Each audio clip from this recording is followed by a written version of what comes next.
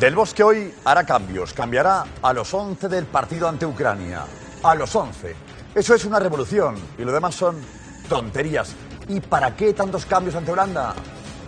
Para nada. Empezamos.